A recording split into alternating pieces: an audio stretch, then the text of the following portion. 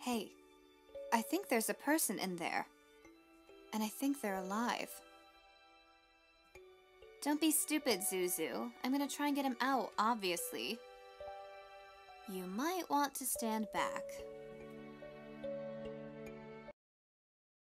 Please, Zuzu. I just needed an excuse to get out of that crummy little village of ours.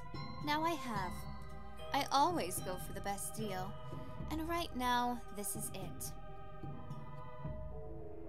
Oh, you're sadly misinformed there, Your Majesty. These two fools don't realize it, but I'm already a master firebender.